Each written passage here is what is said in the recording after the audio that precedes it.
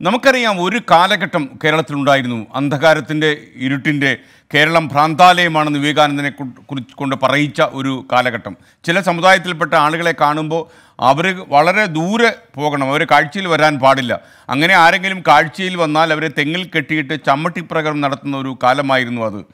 ഈ ചില ജാതികളുടെ പേരിന്റെ കൂടെ ചേർത്ത് പേടി എന്ന് അന്ന് ഈ ഈ സംസ്കാരത്തെ വിളിച്ചിരുന്നു. മാത്രമല്ല വരേണ്യവർഗം അടക്കി വാണ ഇരുട്ടിന്റെ ആ ലോകത്താണ് അയ്യങ്കാളി എന്ന കലാപകാരി രംഗം രംഗത്തേക്ക് വരുന്നത്. ഇന്ന് അയ്യങ്കാളി ജയന്തിയാണ്. അദ്ദേഹത്തിന്റെ ജന്മദിനമാണ്. ജാതി ഇരുട്ടിന്റെ ഹിംസയെ വെല്ലുവിളിച്ചുകൊണ്ട് മനുഷ്യ അവകാശത്തിന് വേണ്ടിയുള്ള ഐതിഹാസികമായ ഒട്ടേറെ പ്രക്ഷോഭങ്ങൾ അദ്ദേഹം നയിച്ചു.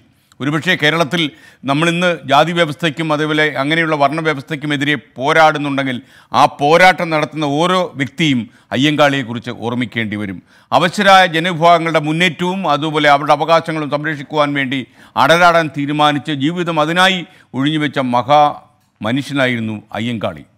അദ്ദേഹത്തിന്റെ ജീവിതത്തിലേക്ക് ഒരു എത്തിനോട്ടം. സവർണർ മാത്രം സഞ്ചരിച്ച രാജപാതയിൽ വില്ലുവണ്ടിയിൽ യാത്ര ചെയ്ത അയ്യൻകാളി എന്ന ചെറുപ്പക്കാരൻ കാളകളെ തെളിച്ചത് ചരിത്രത്തിലേക്കായിരുന്നു. ആയിരത്തി എണ്ണൂറ്റി തൊണ്ണൂറ്റി മൂന്നിൽ നടത്തിയ വില്ലുവണ്ടി യാത്ര സവർണാധിപത്യത്തിന്റെ കാട്ടുനീതിക്കെതിരെയായിരുന്നു.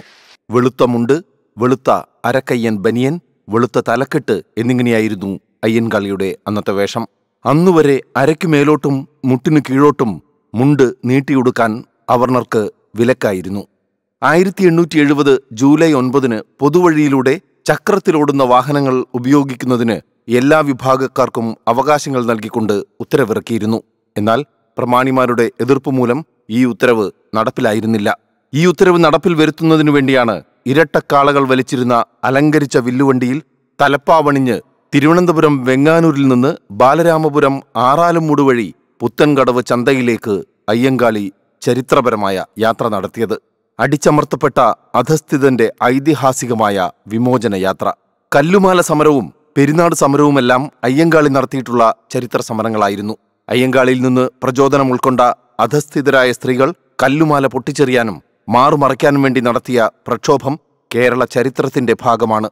തിരുവിതാംകൂറിൽ കർഷക തൊഴിലാളികളുടെ ആദ്യത്തെ പണിമുടക്ക് സമരം നയിച്ചത് അയ്യങ്കാളിയാണ്. പലതരം എതിർപ്പുകളും പല വ്യവഹാരങ്ങളും ഒറ്റയ്ക്ക് നേരിട്ട് ആയിരത്തി തൊള്ളായിരത്തി നാലിലാണ് അയ്യൻകാളി തന്റെ ആദ്യ കുടിപ്പള്ളിക്കൂടം വെങ്ങാനൂരിൽ സ്ഥാപിച്ചത്. ആയിരത്തി തൊള്ളായിരത്തി മുപ്പത്തിയാറിലെ ക്ഷേത്രപ്രവേശന വിളംബരത്തെ തുടർന്ന് കേരളത്തിലെത്തിയ മഹാത്മാഗാന്ധി വെങ്ങാനൂരിലെത്തി അയ്യൻകാളിയെ സന്ദർശിച്ചത് ചരിത്ര മുഹൂർത്തമായി. അടിച്ചമർത്തപ്പെട്ട നീതി നിഷേധിക്കപ്പെട്ട മനുഷ്യരുടെ ശബ്ദമായിരുന്നു അയ്യങ്കാളി. നൂറ്റാണ്ടുകൾ എത്ര കഴിഞ്ഞാലും ലോകത്ത് എവിടെയൊക്കെ മനുഷ്യൻ അരികു ചേർക്കപ്പെടുന്നുവോ അവിടെയൊക്കെ ആ ശബ്ദം മുഴങ്ങിക്കൊണ്ടേയിരിക്കും. Research desk twenty